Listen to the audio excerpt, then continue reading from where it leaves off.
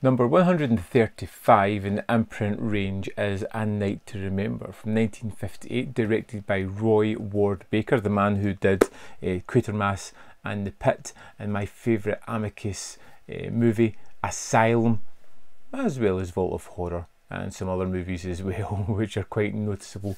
Um, notable. We have this wonderful take on the Titanic. Now, of course, bearing in mind that it is a factual uh, movie, it does have rather a lot of uh, artistic flourishes that really seem to have been almost copied by Cameron and Titanic as well. And this is a, a kind of docudrama take on the sinking of this ship.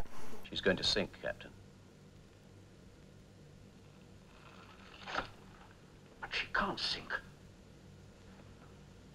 She's unsinkable. And it feels uh, very informative in the way that it goes about showing us through the eyes of the character, the second officer, uh, Charles Lightoller, whom um, kind of watches in disbelief as the unsinkable ship sinks, and we follow lots of various characters on here as they seemingly just don't realise the gravitas of the situation that they're in. Eileen! Yes? You won't get back on board tomorrow without a pass. and throughout the whole movie, watching all as we, the viewer, knows ultimately what is going to happen, there is a sense of frustration, there is a sense of anxiety that drives up throughout the viewer, or it did in my case, watching these people unwilling to take heed of what is actually happening. And from the technical standpoint, seeing um, the, the of list of various areas that just compounded the situation, all which could have been somewhat avoided at some point. It just creates a really anxiety driven movie because we're watching these people and we know the result of what's going to happen to a, large majority of them.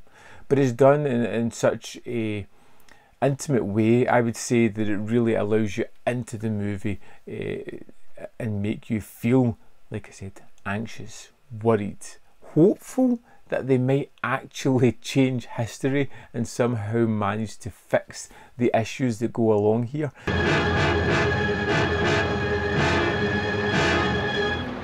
Um, there is a great use of miniatures on this one as well, which I think are done wonderfully. There are a couple of sequences where they don't quite fit in when they try to use miniature people but it doesn't detract from the great storyline. Watching these characters um, as they niggle and fight and berate and even moan about small inconsistencies that have nothing to do with the grander picture. Watching one woman as she continually just puts off her place in the boat um, because you get the next one, you get the next one, or something else will happen. To watch the men trying to find a way uh, onto the boat when it's women and children first. Uh, very familiar.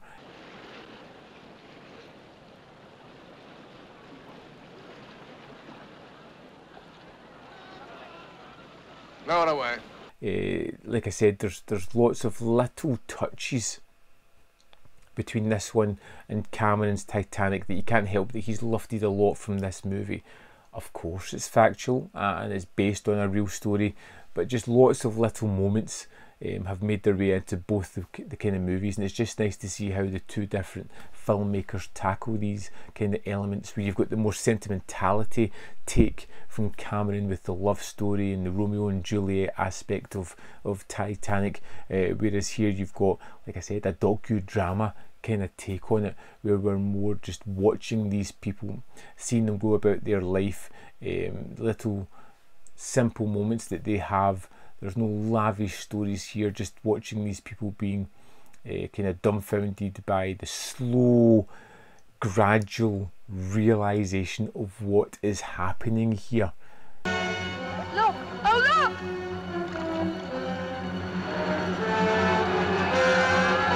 Which I think is, is one of the more um, magical aspects of the movie, how it does that. It's, it's one where as a viewer, most people know the story.